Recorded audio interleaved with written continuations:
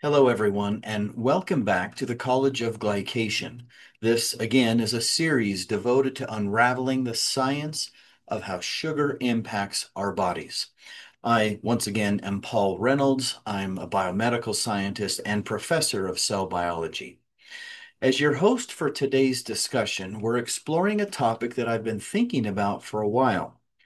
It's called glycation and polymyalgia rheumatica, or PMR. PMR is generally classified as an autoimmune inflammatory disorder. And we're here today to link this malady with glycation, and I promise there is a clear link. If you've been with us through previous episodes, you know that glycation is a sneaky process where excess sugar in your blood binds to proteins, fats, and even your DNA. And in the process, it forms advanced glycation end products, or AGEs for short. And those AGEs can cause notable consequences over time. Think of it like rust forming in a car, but inside your body in this case, and the result is damaged tissues and accelerated aging.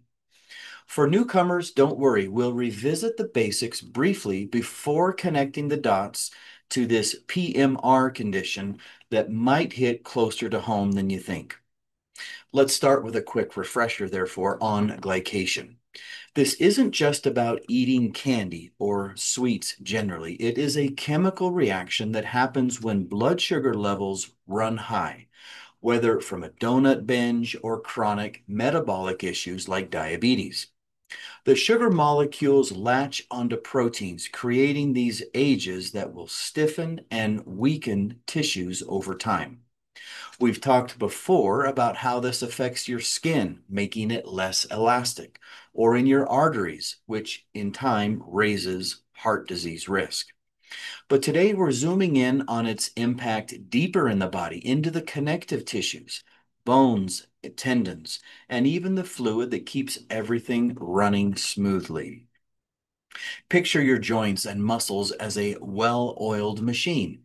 Glycation is like throwing sand into the gears. Over time and over the years, these AGEs accumulate, cross linking proteins in your collagen and elastin, which are the scaffolding for your important connective tissues.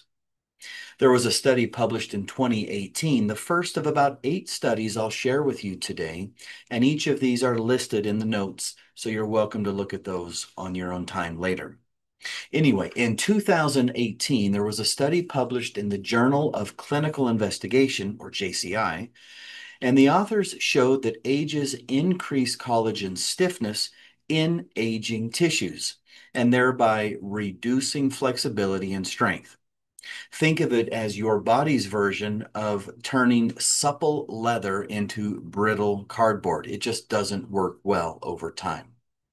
Another paper from the journal Bone 10 years ago in 2015 found that glycation in bone cartilage correlates with fragility fractures, suggesting that bones become more brittle as sugar damage mounts. Now, tendons aren't spared either. There was an article published in the journal Matrix Biology, and the two lead authors were Avery and Bailey. They demonstrated how glycated tendons lose elasticity, making injuries more likely. This is the foundation we want to build on today, and it sets the stage for better understanding of polymyalgia rheumatica, or again, PMR. Now let's talk about this condition, PMR. It is a condition that's been puzzling for years. It's puzzled doctors and patients alike.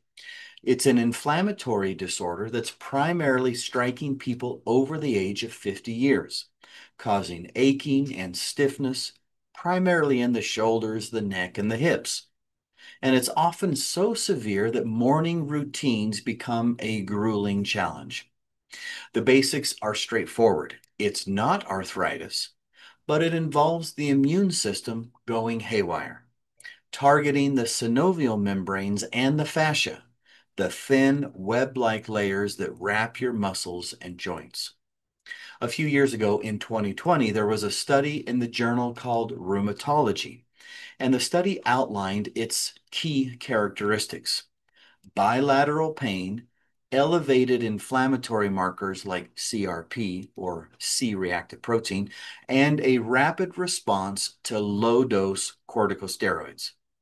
The causes, well, that's trickier. It's likely a mix, most often, of genetic predisposition as well as environmental triggers, maybe an infection or stress that might be the starting point that kicks off this immune overreaction. But here's where it gets interesting. As PMR progresses, the stiffness and the pain worsen. And the mechanisms behind that escalation do, in fact, tie back into glycation. In 2019, there was an article published in the Annals of Rheumatic Diseases, and the researchers suggested that chronic inflammation in PMR may amplify tissue damage over time. and we're starting to see how glycation could be a silent partner in this crime. So let's dig into that mechanism a bit more. Fascia is the continuous connective tissue web that wraps around muscles, bones, and organs. It should glide. It should move. But that glide depends on, heavily depends on, really, the interstitial fluid, the fluid that bathes the extracellular matrix. And that fluid contains lubricating molecules like hyaluron and others. When this fluid becomes contaminated with glycated proteins, as well as oxidized sugars, it lubricates, its rather lubricating properties collapse. It becomes sticky. It turns from a lubricant into a liability. Imagine pouring sugary syrup into a hinge on your door instead of oil. It simply will gum up the works, leading it to ineffectiveness. In 2016, there was a study published in the Journal of Orthopedic Research. And in this case, researchers found that glycated molecules in the interstitial fluid impair its viscoelastic properties, so the viscosity and the elasticity. And what that did was it led to increased friction and stiffness in the associated connective tissues. In PMR, this could explain the limited range of motion. Those glycated sugars are clogging the system, and inflammation only makes it worse. Add in oxidative stress, where free radicals can damage cells, and you've got a perfect storm once again. In 2014, a paper published in Free Radical Biology and Medicine found that oxidative damage from AGEs are linked to the chronic inflammation observed in PMR. Both are hallmarks in the progression of PMR.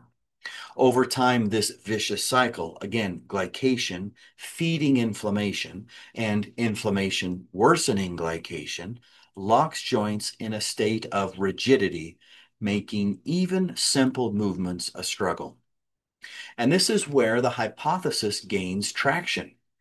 In patients with PMR, studies using muscle biopsies and microdialysis techniques have shown elevated levels of inflammatory cytokines, not just in the blood, but directly in the interstitial fluid of affected muscles. These cytokines, like IL 6 and TNF alpha and others, may not only drive inflammation, but also reflect a compromised biochemical environment where glycation has already taken hold. Add to this the elevated interstitial levels of pain inducing compounds like glutamate and prostaglandin E2. Both of those are also found in symptomatic muscles in PMR patients. And if you add all that together, you begin to see how this is a local process, not just a systemic one. Now let's connect this to something we can control, our diet. Specifically, myofascial pain syndromes, which often overlap with PMR. Myofascial pain comes from trigger points in the fascia, those tight knots that make you wince when pressed. Diet plays a surprising role here, and the evidence points to ketogenic eating as a potential game changer.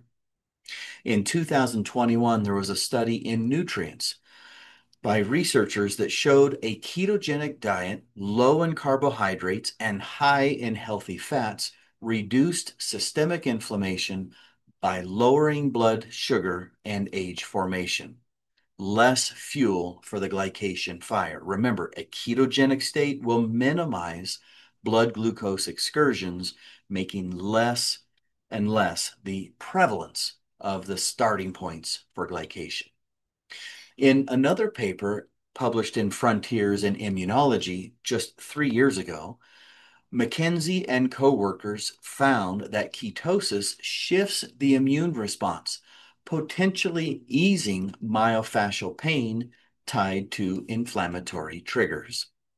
For PMR patients, this could mean less stiffness if dietary sugar is minimized.